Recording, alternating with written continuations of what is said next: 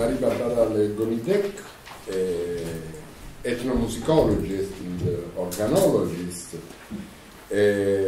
worked uh, did field work in Western Europe, mainly in uh, Bulgaria.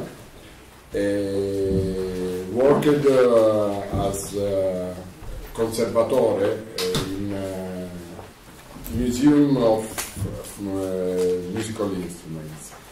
His uh, paper is about uh, uh, improving and developing the classification of hornbostel and uh, on a specific case uh, that is the case of flutes and bagpipes.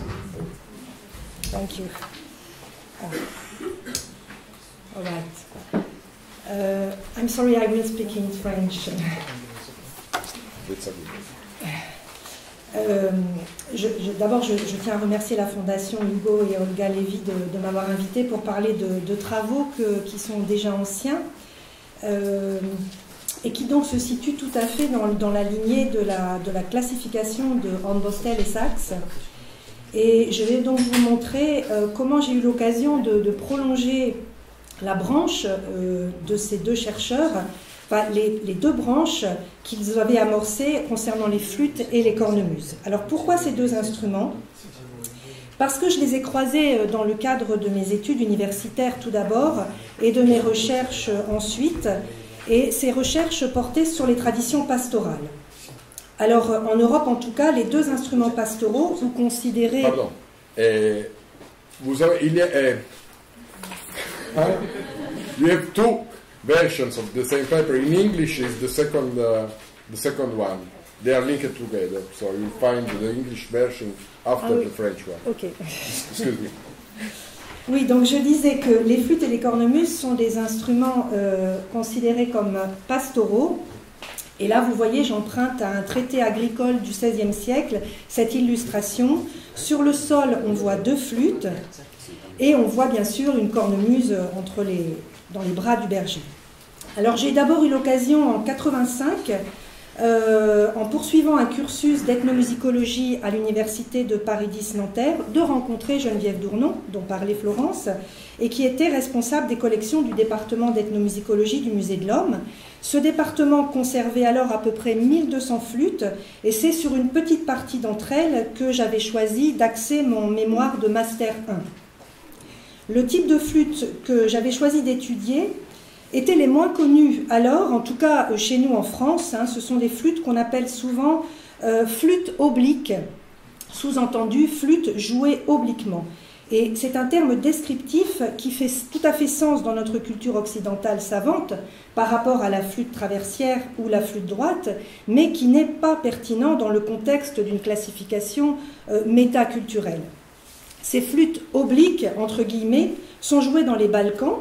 C'est le kaval euh, que vous voyez sur la photo, et c'est surtout dans le monde arabo-musulman, le ney, un instrument de la musique classique orientale. Et on voit ici un musicien turc, Kutsi Erguner, en euh, 1988. Cette appellation de flûte oblique n'est pas pertinente dans tous les cas, puisque on le voit sur cette euh, image, le ney persan. Et voilà un musicien vivant à Paris que j'avais photographié à l'époque. Et euh, on voit que la position de jeu est droite par rapport à l'axe du corps si on compare avec la précédente. Regardez les mains qui sont entre les cuisses, euh, ici, et euh, sur la cuisse gauche dans, dans ce cas. Donc j'ai été amenée à proposer une autre terminologie en m'inspirant de l'appellation anglaise rim blown flute, qui est bien plus logique. Donc en français, cela donne flûte à insufflation sur le biseau terminal. L'anglais est toujours plus synthétique. Ce premier travail de recherche était de type monographique et ne portait que sur ce type de flûte. J'ai étudié d'un point de vue organologique un corpus d'une vingtaine de flûtes de la collection du Musée de l'Homme en choisissant des spécimens dont l'embouchure ou la technique de jeu variait. Donc, euh, après ce travail de master, quelques années plus tard, en 89, Geneviève Dournon m'a confié euh, le récollement de l'ensemble de la collection de flûtes dans le cadre de la réorganisation de la salle de travail où les flûtes étaient conservées jusqu'alors. Elles étaient euh, alignées les unes contre les autres à l'air libre sur des sortes de râteliers accrochés au mur. Malheureusement, je n'ai pas de photo, mais elles ont été replacées dans un meuble que l'on voit ici. Et ce meuble était constitué de plateaux verticaux dans des placards et des plateaux horizontaux dans des tiroirs. Comme vous le savez, ce musée laboratoire qui était le musée de l'homme et qui donc dépendait du, Muséum national d'histoire naturelle de Paris, les collections étaient avant tout des collections d'études. Et depuis l'époque de Scheffner, euh, dont Florence vient de parler, donc recruté en 1929 au musée d'ethnographie du Trocadéro, ancêtre du musée de l'homme, et qui est donc le père de l'ethnomusicologie en France, le rangement des collections se fait en fonction du regard scientifique que l'on porte sur, euh, sur elles. Et dans ces années pionnières, c'est la classification de Bostel et Sachs qui prévaut, c'est-à-dire le regard technologique qui est celui adopté par les deux chercheurs. L'instrument a pour fonction de produire un son. Comment produit-il ce son? Cela fonde l'observation. Pour moi, c'est ce que j'appelle un regard technologique. À l'époque de Geneviève Dournon, responsable après Scheffner des collections instrumentales du Musée de l'Homme, donc en 1967, comme le rappelait Florence, et même si les connaissances culturelles et musicales liées à l'instrument avaient permis de replacer l'instrument de musique dans son contexte social et culturel, c'est encore donc la classification de Hornbostel et Sachs qui prévalait pour ranger les collections. Donc, nous avons été amenés avec Geneviève Dournon pour faire ce, à faire de ce meuble une sorte de catalogue raisonné en faisant correspondre un espace concret de rangement à un rangement théorique. En haut, vous voyez les flûtes jouées en position traversière ou obliquement, et en bas, les flûtes dites droites à conduit d'air. Tout cela pour vous dire qu'entre mon travail de master et ce récollement, associé à des recherches bibliographiques, j'avais eu l'occasion d'approfondir mes connaissances concernant les flûtes. Et j'étais émerveillée par cet instrument, par la différence morphologique existant de l'une à l'autre, alors qu'il s'agit toujours en apparence d'un simple tuyau, hein, simple entre guillemets, sur le plan visuel en tout cas. Mais quand on y regarde de près, on s'aperçoit que le système d'embouchure, c'est-à-dire l'ensemble des éléments qui permettent euh, l'émission du son, est parfois très étonnant, et on trouve des instruments tels que celui-là, alors, il ressemble à une flûte à bec dont le bloc aurait été perdu, mais ce n'est pas le cas puisque on se demande comment elle peut fonctionner. Et plus tard, j'ai appris sur le terrain que c'est la langue du joueur qui est introduite dans la flûte pour reconstituer le conduit d'air. Alors il y a des flûtes encore plus étonnantes, comme celle des Miao qui vivent dans la province du Guizhou en Chine, et voici euh, une photo et une vue en coupe qui provient du catalogue de la collection du Kunitashi College of Music de Tokyo. Et même si au Musée de l'Homme, nous n'avions pas dans les collections un tel instrument, il se pouvait qu'un jour on acquiert une de ces flûtes. C'est d'ailleurs arrivé pour cette flûte-là, hein, puisque euh, c'est une flûte que j'ai eu l'occasion de ramener de, Slovaquie sur le terrain dans les années 1990. Donc, euh, ce que je veux dire par là, c'est qu'il euh, fallait prévoir cette classification en fonction de flûtes existantes qu'on était susceptible d'avoir dans les collections un jour. Alors, je constatais donc que la classification de Hornbostel et Sachs n'était pas assez fine et que plusieurs types de flûtes se retrouvaient dans la même branche alors qu'on pouvait faire pousser d'autres rameaux. Alors, comment s'y prendre pour affiner leur classification? C'est ce dont je vais vous parler euh, précisément à présent. Et en vous présentant une publication qui est déjà ancienne, qui est celle-ci, euh, et euh, donc je, voulais la publier en anglais et une de mes amies, Laurence Fayet, l'avait traduit et je crois que c'est ce document qui a été mis à, votre disposition. Alors pour les aérophones, la catégorie 4, ah ben voilà, pardon, voilà le... Donc en partant de la, de la, du numéro 4 de, la catégorie de classification de Hornbostel et Sachs, la flûte est en position 421. Elle fonctionne grâce à un jet d'air dirigé vers un biseau. Voilà, on le voit sur ce, schéma que l'on doit à un savant né à la fin du XIXe siècle, Zéphirin Carrière, qui a réussi à colorer un jet d'air dans un tuyau pour en observer la trajectoire et le mouvement. Il a mis en évidence l'oscillation du jet d'air de part et d'autre d'une arête biseautée. Il faut que le jet parvienne à l'arête par un conduit, comme l'ont bien vu évidemment en Bostel et Zax. Le conduit, il est à demeure sur la flûte, c'est le 421.2, et c'est l'exemple de la flûte à bec, ou bien le point 421.1, il est confectionné au moment de jouer par le musicien avec sa bouche. Et c'est l'exemple de la flûte traversière, ou bien ça peut être insufflé avec le nez. Alors de mon point de vue, dans la mesure où le conduit est une nécessité, j'ai pensé qu'il était préférable d'être positif et de parler, euh, en français en tout cas, de conduit d'air non aménagé, plutôt que de dire sans conduit d'air, hein, de parler de conduit d'air non aménagé. Et sur ces deux schémas, vous voyez la correspondance entre les éléments du système d'embouchure, entre euh, le conduit d'air non aménagé et aménagé. Donc ils sont à demeure sur la flûte à bloc, de ce côté-là, et ils sont rapportés par le musicien sur ici l'exemple d'une flûte à encoche. Euh, Bostel et Sachs évoquent ensuite le fait que la flûte puisse être à embouchure terminale, 421-11, ou à embouchure latérale, 421-12. Alors je suis d'accord, mais quelle est la place pour les flûtes à encoche que l'on voit ici, ou les flûtes taillées en biais Elles se retrouvent avec les flûtes à embouchure terminale, ce qui n'est pas faux à proprement parler, mais on peut être plus précis et c'est à partir de là que la classification que, j'ai proposée diverge de celle de Sachs et Bostel en reformulant certains critères qui permettent d'aller plus loin.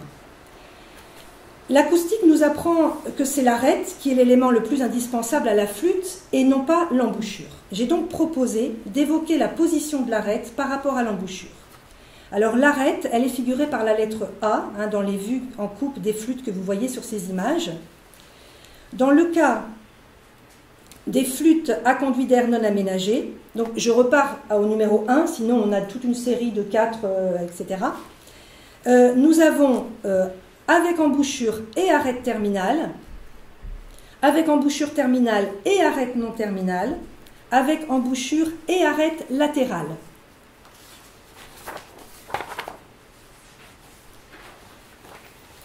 Ensuite, dans le cas 11, avec embouchure et arête terminale, le critère suivant va être le fait que l'embouchure est ouverte, et ça, ça va s'opposer à une embouchure cloisonnée. Euh, le type embouchure ouverte se décompose en simple, sur embouchoir, c'est-à-dire que l'embouchure est rapportée, c'est le cas du nez perçant, et, euh, ou bien biseauté, sur embouchoir également. Ensuite, pour les flûtes 12, euh, avec embouchure terminale et arête non terminale, on a 121 l'extrémité taillée en biais, ou à encoche ou fenêtre partielle. Le troisième critère, c'est à fenêtre, ouverture quadrangulaire ou aussi le jet d'air. Voilà les trois cas de figure. Ensuite, dans le troisième euh, point, avec embouchure et arête latérale, on a l'embouchure simple ou sur embouchoir, qui est le cas de la flûte traversière occidentale.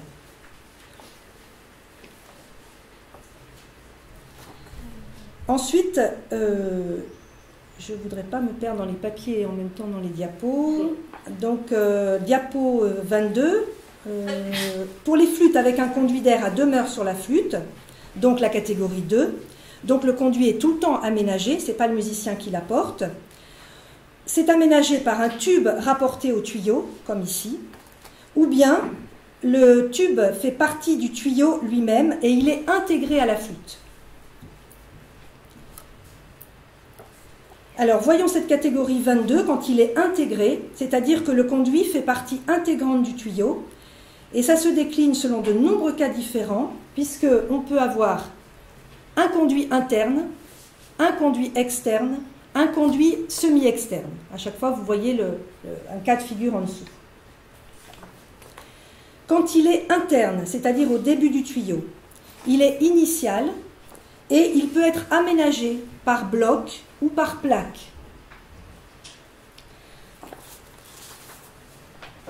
Euh, oui.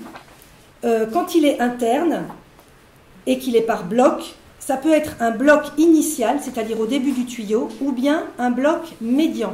c'est-à-dire au milieu, enfin c'est pas vraiment au milieu, mais en tout cas pas à l'extrémité, donc j'ai appelé ça médian. Alors, souvent, c'est une cloison naturelle du roseau qui est conservée, ou bien un petit morceau de cire qui est placé euh, à l'intérieur. Alors, revenons au conduit, d'air intégré et interne, aménagé par bloc initial. Euh, donc, j'avais dit qu'on repart de celui-là, donc avec un, ras du tuyau initial. Donc, il peut être euh, formé un angle droit ou être taillé en bec. Ou bien, il peut dépasser, comme on voit sur cette, euh, le 221-112. Et là, c'est très important parce que ça détermine des positions de jeu différentes. Hein. Vous voyez, pour celui-là, c'est en fait une flûte à conduit d'air, mais si on utilisait un vocabulaire descriptif, on parlerait de flûte traversière, alors qu'il y a un conduit d'air. Alors, quand c'est un bloc initial, non, pardon, quand il n'est pas initial, il est médian et il a la, la fonction d'un déviateur. Alors, soit avec un dispositif d'ajustement euh, externe qui va rabattre l'air qui circule à l'intérieur, qui va le rabattre ici pour qu'il puisse arriver sur l'arête opérationnelle. Et là, on voit qu'on a un cas où l'arête, elle est rajoutée. Donc là, presque tous les éléments sont rajoutés sur, la flûte. Dans le cas du conduit d'air euh, externe, on a deux cas par bague, c'est la souligne d'Indonésie, ou bien par plaquette, comme, sur celle-ci.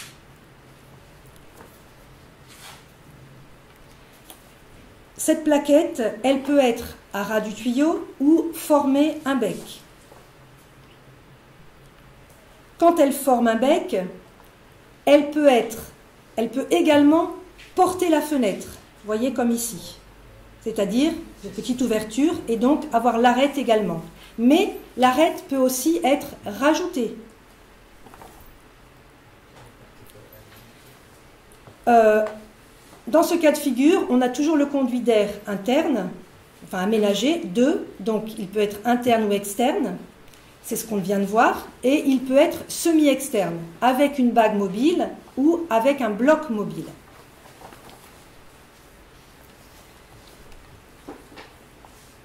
Euh,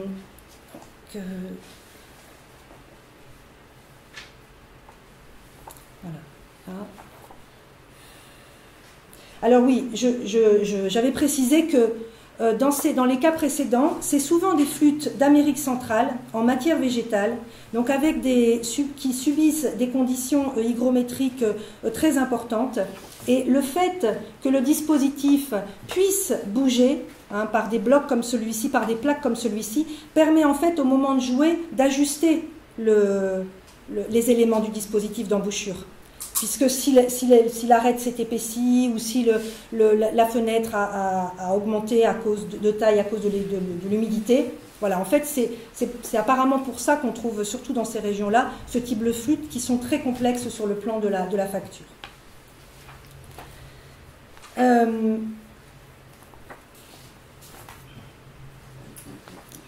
donc voilà, c'était pour vous montrer la complexité jusqu'à laquelle on peut descendre. Hein, euh, je crois qu'aucune collection de musée n'a vraiment toutes ces flûtes, mais je voulais aller jusqu'au bout du bout, jusqu'au. J'ai cherché donc dans des livres différents types de flûtes pour essayer de pousser le plus loin possible cette classification.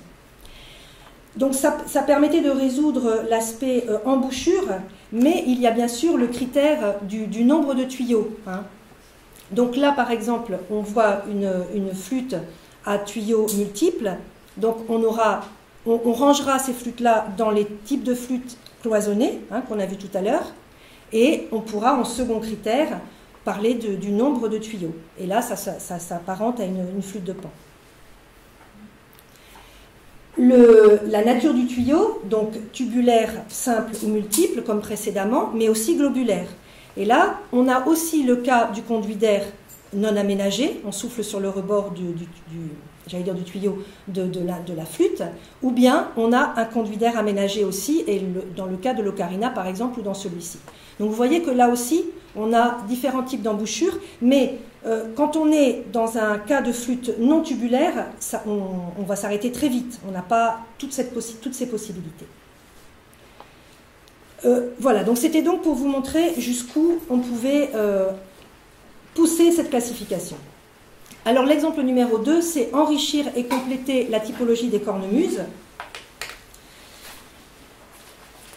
Qu'en était-il dans la classification de Sachs et Bostel euh, il, donne pratiquement euh, rien, puisqu'on voit que ces instruments sont en position 6 à réservoir d'air, 6-1 rigide et 6-2 flexible. Donc pour Sachs et Bostel, la cornemuse, c'est un instrument en 6-2, un réservoir d'air euh, flexible.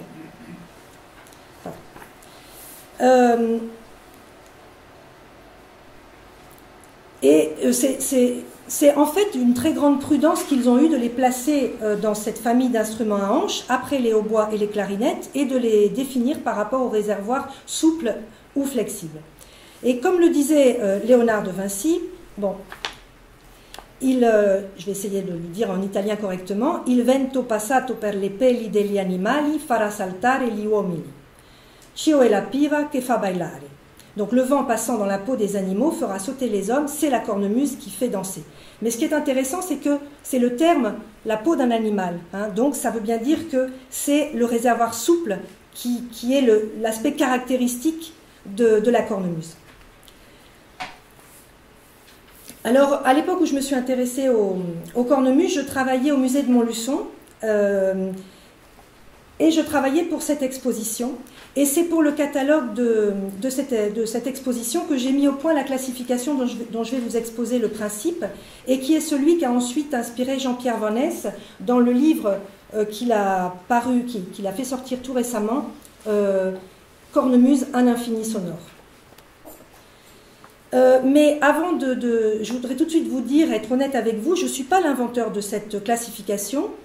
Euh, à l'époque, je terminais la rédaction de ma thèse sur les instruments pastoraux en Bulgarie et je consultais toutes sortes d'ouvrages liés à la musique dans les Balkans. Et c'est dans un catalogue d'instruments de l'ancienne Yougoslavie, un catalogue rédigé en serbo-croate, que j'ai trouvé l'inspiration. Dans les langues slaves, en tout cas en serbe, en croate, en bulgare, l'instrument ne, ne, produit pas un son, zvuk, mais il possède une voix, glace, comme l'être humain. Et j'ai choisi de traduire littéralement glace par voix et non pas par son, sonorité. Euh, la Yougoslavie, avant la guerre de 92, était une confédération de plusieurs peuples et on retrouve des cornemuses de types très différents. En haut, vous avez la, la de Dalmatie, qui est une cornemuse à double tuyau mélodique. En bas, la, la, de, de la région du Banat, pardon, à gauche, et euh, en bas, euh, celle des Albanais du Kosovo ou des Macédoniens, avec un tuyau mélodique et un bourdon. Vous voyez en tout cas trois types de cornemuses très différentes. Et pour les décrire, donc le catalogue du musée de Belgrade parlait de cornemuses à deux voix, comme euh, la Michnice, celle-ci, et pour celle-ci aussi, de cornemuses à trois voix, Triglasna Gaida, comme pour celle-ci, et il y a même des cornemuses à quatre voix, et voilà par exemple ce qui serait une cornemuse à quatre voix, la zampogna italienne. Alors revenons à cette cornemuse-là. Et euh, quand je travaillais à mon leçon, donc je n'avais que des photos sous les yeux et je ne voyais que deux tuyaux. Hein. le tuyau d'insufflation ici, le tuyau bourdon et celui-là. Donc je ne comprenais pas comment cette cornemuse pouvait être à trois voix. Et la description n'était pas très, claire. Et euh, en tout cas, sur le plan musical, on entendait bien à l'oreille qu'il y avait plus de deux voix. Alors j'ai pensé que le fait de partir de la notion de voix et non pas du nombre de tuyaux pouvait être intéressant, car cela respectait mieux le principe de l'instrument qui est celui de l'anche, car chaque voix est donnée par une anche. L'exposition était consacrée à ce type de cornemuse, hein, la musette du Centre France, qui est aussi une cornemuse à trois voix, et j'ai proposé une typologie voilà pour ces, cornemuses à trois voix et je les présentais sous forme d'une arborescence. Donc pour qu'il y ait cornemuse, il faut qu'il y ait au minimum trois éléments un sac, un tuyau pour remplir le sac, le tuyau avec les trous de jeu pour produire la mélodie. Donc pardon, voilà, ça ce serait la cornemuse la plus simple à une voie. En général, si on a un réservoir, c'est qu'il y a un autre tuyau à alimenter en air. Donc, nous aurons une cornemuse à deux voies, et là on voit qu'on a des possibilités très, assez différentes. Dans le cas de la gaita de Galice, en Espagne, en haut, ou dans le, cas de la gaïda bulgare. Euh, et là, en, voyant les anches, on comprend que pour une cornemuse dite à, deux voix, on aura euh, des, anges différentes.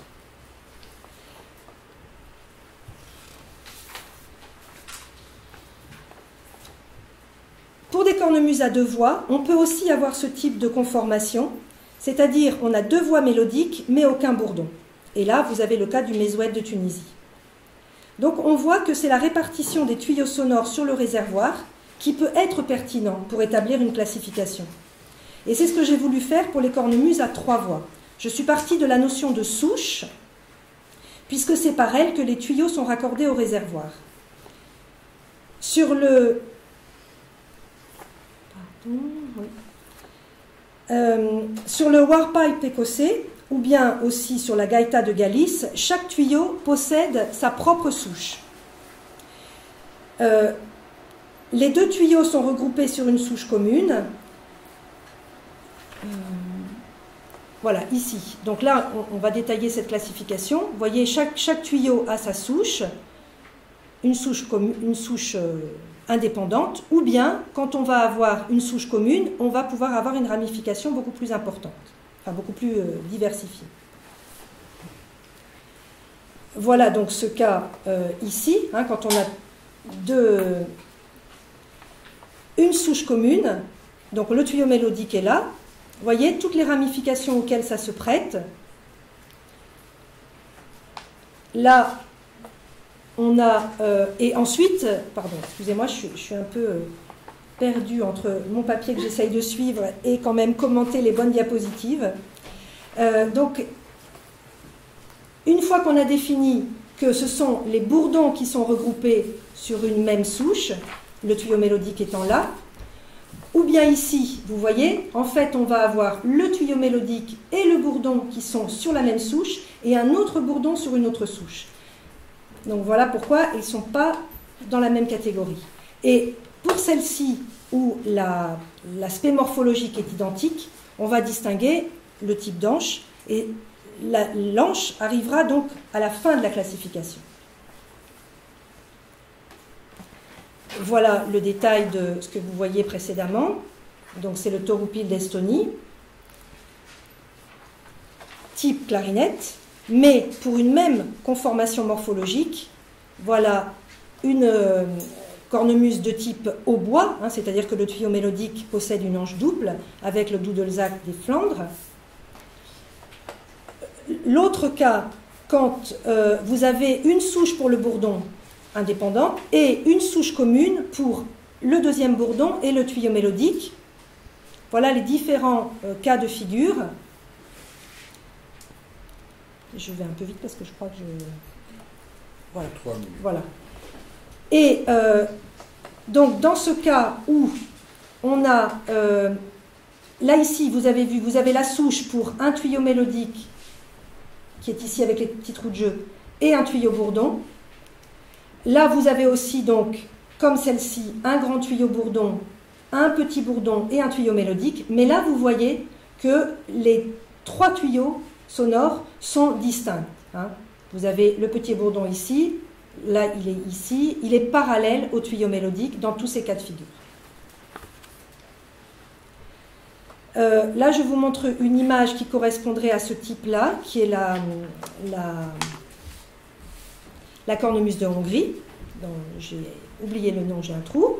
On voit très bien ici ce, que j'ai appelé le bloc mélodique, et en fait, c'est un bourdon qui est semi, euh, ou, un, il peut produire une note. Hein.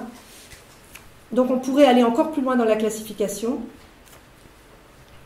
Et là, c'est le cas de cette configuration-là, où vous voyez que vous avez donc un petit bourdon et le tuyau mélodique. Alors, quelle est la différence entre celle-ci et celle-ci? C'est que là, vous avez ce qu'on appelle un pied, et on peut retirer le pied quand on veut jouer dans une autre tonalité. Alors que pour cette cornemuse-là, on, joue toujours dans la même tonalité. Et ça, c'est la cabrette auvergnate qui était amenée à être jouée dans les musiques de bal avec l'accordéon. Et il fallait que le musicien ait plusieurs pieds pour pouvoir jouer dans toutes les tonalités. Euh, voilà, donc en fait, c'était grâce à, cette cornemuse-là que j'ai été amenée à, réfléchir à la classification des cornemuses. Et euh, j'ai utilisé ensuite ce, travail dans ce site que j'ai réalisé sur les collections du, musée dans lequel je travaillais avant et sur lequel vous pourrez trouver des détails et entendre tous les exemples de ces cornemuses. Voilà, excusez-moi, je me suis un peu euh, perdue dans...